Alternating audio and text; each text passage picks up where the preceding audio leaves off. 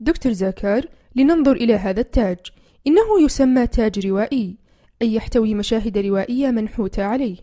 أكثر العناصر وضوحا وزخرفة ويمكن تمييزه بالإضافة إلى أنه غير روائي هو تصوير أوراق نبات الأقنثة التي تعود لفن العمارة اليوناني والروماني. لكن تعود هذه التيجان لفترة العصور الوسطى في القرن الثالث عشر. دكتور هارس وتكمن أحد الأمور التي يلاحظها الناظر على الفور في مدى عمق المنحوتات وبالتالي تنتج ظلالا داكنة جميلة تشكل زوايا لأوراق الأشجار. دكتور زاكر وتتمثل أحد الأمور التي يلاحظها الناظر للوهلة الأولى هي قصة الخطيئة الأصلية وهي قصة آدم وحواء. دكتور هارس ويبدو كل منهما خائفا للغاية.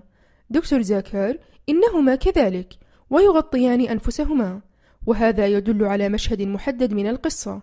إنهما يعلمان أنهما أصبحا عاريين وربما يواجههما الرب في تلك اللحظة ويسألهما عن سبب اختبائهما منه دكتور هارس تعجبني طريقة حفر العينين على شكل ثقوب عميقة وتحيط بهما أشكال بيضاوية لتبدو العيون كأنها تخرج من رأسيهما بسبب إدراكهما لفظاعة ما فعلاه وكيف أنهما خانا الرب. دكتور زاكر يبدو أنهما قطعا إحدى أوراق نبات الأقنثة من تاج العمود المجاور لهما لتغطية أنفسهم وهي ما يحملانه بيديهما.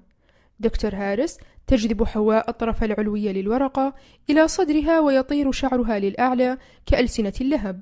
هذه صورة قوية تصور إدراكهما لما اقترفا وتظهر عواقب أفعالهما هنا أيضا. دكتور زاكر هذا مشهد مثير للعواطف وتم تصوير مشهد آخر من كتاب العهد القديم على هذا التاج. بالانتقال إلى اليمين نرى صورة معقدة لشخص منحني. إنه ملاك حيث يمكن رؤية أجنحته.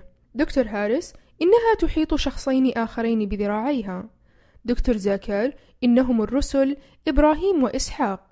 دكتور هارس وبالطبع يبدو كلاهما قصير وممتلئ ولم يتم تصويرهما بالنسب الصحيحة.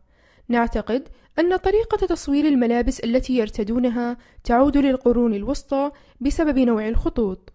دكتور زاكر هذا صحيح. بعكس النمط. دكتور هارس من الواضح أن إبراهيم على وشك قتل ابنه إسحاق بينما يوقفه ملاك عن ارتكاب هذا العمل المريع.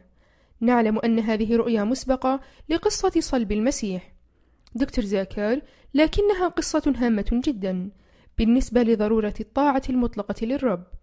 دكتور هارس كما أن الحماية التي تزودها الملاك بذراعيها وأجنحتها التي تغطي الشخصيات قوية جدا بالإضافة إلى طريقة تشكيل رأسها لزاوية التاج.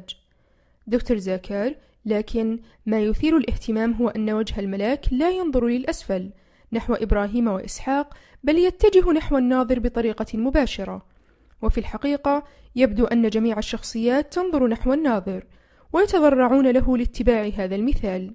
دكتور هارس تمت زخرفة بوابات العديد من الكنائس الرومانية بواسطة مشاهد من يوم القيامة إذ تكمن فكرة ذلك في تذكير الشخص عند دخول الكنيسة بثمن الخطيئة وهو الخلود في الجحيم. هذه هي الخيارات التي نواجهها كبشر حول ما يمكننا فعله بحياتنا. دكتور زاكر لا يمكن لأحد القول أن النحاتين الرومان كانوا بالغي الرقة. دكتور هارس لقد عبروا بطريقة قوية وعاطفية جدا. وربما استغرقنا تحليل المشاهد بعض الوقت وقد يحتاج زوار المتحف للنظر إلى البطاقات التعريفية. لكن لا يوجد شك في أن كل من دخل الكنيسة في القرن الثاني عشر أو الثالث عشر استطاع قراءة هذه القصص بسهولة. دكتور زاكر أجل. لا بد أن هذه كانت رسائل مباشرة جدا شكلت تذكيرا ثابتا.